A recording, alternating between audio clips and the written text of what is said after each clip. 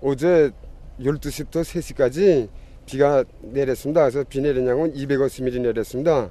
그래서 지금 우리 작업반에 넣은 경지 면적의 90%가 잠겼습니다. 그래서 보다시피 이렇게 다 침을 떼고 유실됐습니다.